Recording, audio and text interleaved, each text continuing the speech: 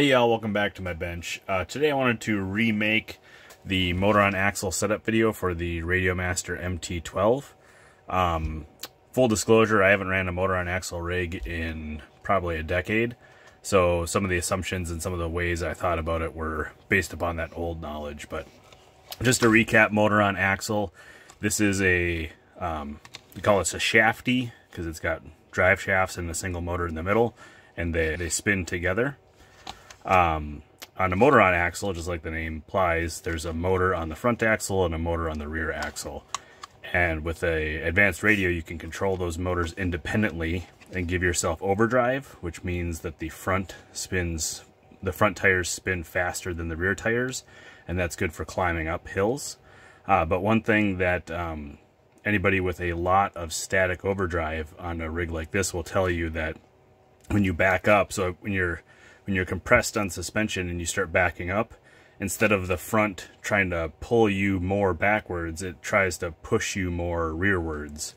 And uh, what that does is it unloads the suspension and gets you into like weird binds, because again, the front end is trying to go faster than the rear end, and that can get you into some issues. So um, I've got a mix on the radio to reverse that, so that when you're in forwards, the front end is faster, but when you're in reverse, the rear end is faster by that same uh, margin. And you can you can tweak those settings and make it more or less in front or backwards. Um, another change from my previous video is when I ran motor on axle, uh, drag brakes weren't as good. So we actually ran like you would go, first time you go into reverse, it would be brake.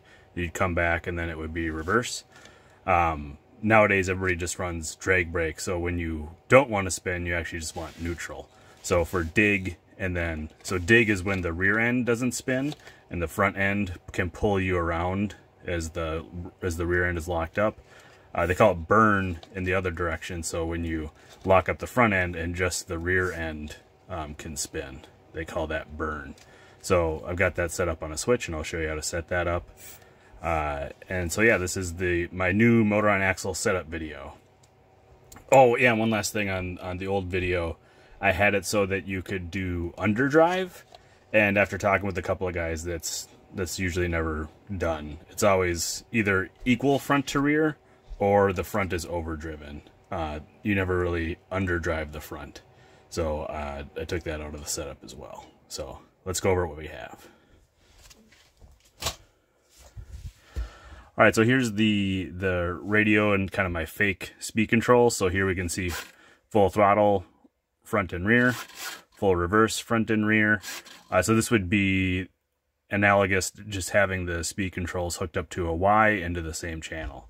So I've got the overdrive on this pot. So right now we're at 100%, so that's equal to front and back.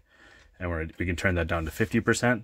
So now we can see when we go full throttle, we get full throttle on the front motor and only half throttle on the rear motor. So this would be 50% uh, overdrive. And now when we go in reverse, we can see it's flip-flopped. So front is only half and rear is 100%. And like I said, what the, the idea with that is you stop the, when you're going in reverse, you stop the front end trying to outdrive the car and get into weird flippy situations. Um, and that's all tunable. We can change the, the, the split on that if we want. Uh, so then uh, on this trim switch here, I've got dig and burn set up. So if you're going along and you want to do dig, you hold it down and now only the front motor is active. And if you want to do burn, hold it up and now only the rear motor is active. So that's the main settings. You can change your percentage split with this knob, and you can do dig and burn with this knob, with this switch. So let's go over the settings and see how to set that up. All right, so because we want the the mixes to change whether we're in the forward direction or the reverse direction, the first thing we're going to do is we're going to set up a logical switch based upon that information. So we can hit the model button, scroll over to logical switches. And here we can see that it's already using the throttle as uh, to do these lights. So we can we can use that as a clue of how to set this up. So we can just come down to the first blank one and we want to add if A is greater than X. So that this is going to be, uh, this is going to be when we are, when we're in forward. Nice thing about Edge TX is when you're highlighted something, you can just, so this would be, okay, I want to do steering, now I'm going to pull the trigger. And you can see it says throttle. So this logical switch should be on anytime that we're in forward. So I'm in reverse, so you can see it goes non-bold, and I go forward, it is bold. Reverse, not bold. Forward is bold. So now this this will be the, the switch that we use to change whether we're going to overdrive the front motor or overdrive the rear motor. So to set up those mixes, we come over to the mixes page. I've got the front plugged into channel 2 and the rear plugged into channel 3. So we can click on this to add a new mix. Channel 2, we want that to be based upon the throttle. We're going to click, pull the throttle. So now it's set up to be the throttle. We're going to come down here and turn the trim off because you should never need to trim an electronic speed control. So now we've got that set up. And we do the same thing with channel 3. Add throttle, turn trim off. So now we've got the the simple motor on axle where they're just getting the same signals, the, the front and the rear motor. So now we're going to add in this knob that's going to change the percentage that is done. And we're going to use that by multiplying this value times the trigger value, and that'll give us the overdrive that we want. So we can come back up here to this mix, long press, and say insert after.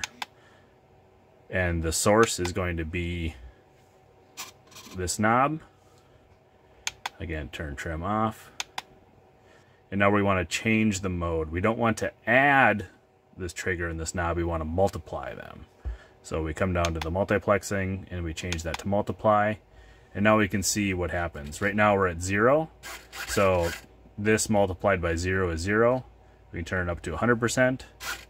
So now it acts as it should. This multiplied by 100% is what it was before. And if we turn it down to 50% roughly, we can see that we only get 50% movement. And if we turn it negative, now it's opposite. So that's that's not what we want. So the reason that's happening is because this is the range. So this is when the knob is all turned all the way down, it's at negative 100. And when the knob is turned all the way up, it's at positive 100. And what we want it to be is we want it to be from 0 to 100% on this knob. So in order to do that, we can change the weight to 50 and we change the offset to 50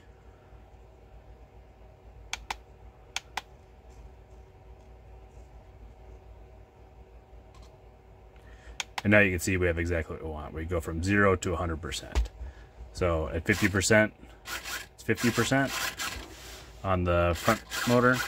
And we turn it up to 100% 100% turn it all the way down. Now it's basically off. So that's what we want from overdrive. But we only want this to be active. We we only want to this this is really even though I'm calling it overdrive, this is the percentage reduction knob kind of if you want to think about it that way. And we want that to be active when we're in reverse for the front motor.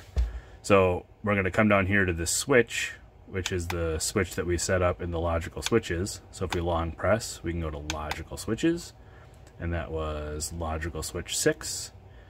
And logical switch 6 is on when we're in forward. So we want to use the inverse. So again, long press and say invert that. So now this mix is only going to be active when we're in reverse. So if we're at we're at 50%, so we should get full throttle in forward and 50% throttle in reverse. So that mix is now set up correctly. We can return, return, return, and now we want to take this and copy it and paste it into channel 3 as well so that they're set up the same. But for channel 3 for the rear motor we want it to be flip-flopped. We only want that to be active and forward. So we can long press and edit and we can come down here and instead of being the opposite of switch of logical switch 6 we want it to actually be logical switch 6. So now if we return Again, our, our knob is in the halfway position, so this should be 50% overdrive. And so we move the throttle forward. We get all 100% throttle in the front, 50% throttle in the rear. We go, we go to reverse. The opposite happens. We get 100% throttle in the rear and only 50% throttle in the front. So now that's exactly what we want with this switch, but now we need to set up the dig because we want the we want dig and burn on this switch. And if you see my other videos, you know that this is a fairly straightforward thing to do by kind of cheating using the special functions window. So we're going to add a new special function. We're going to use the trim switch, trim switch, and this is trim switch 4, T4. So if we go to T4 plus, we want to override channel 3. Actually, let's override channel 2 for burn and click the little checkbox to make sure it's on. Hit return. Click on this one. We want T3 minus. Wait, is it T3, T4? Sorry, T4 minus.